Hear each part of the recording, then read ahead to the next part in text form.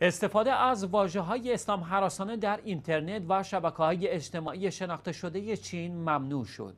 رسانه های رسمی چین اعلام کردند از نظر دولت این کشور استفاده از واجه های اسلام حراسانه توسط کاربران چینی در اینترنت توهین به مسلمانان محسوب می شود و از این پس ممنوع است. در این راستا سینا ویبو شبکه اجتماعی شناخته شده در چین استفاده از واجه های ضد اسلامی را block کرده است سینا ویبو یک وبگاه microblogging چینی است که همانند تلگرام و یا واتساپ در کشور چین عمل می کند و محبوبیتی زیاد در بین کاربران اینترنتی در این کشور دارد. در پی این ممنوعیت جستجوهای اینترنتی برای کلماتی چون مذهب سبز و مذهب صلح که اغلب توسط کاربران چینی اینترنت به جای واژه اسلام به کار برده می شوند و از آنها برای فرار از سانسور سخنان متعصبانه علیه اسلام استفاده می شود هیچ نتیجه در ویدیو در بر نداشته و هر گونه توهین به اسلام نیز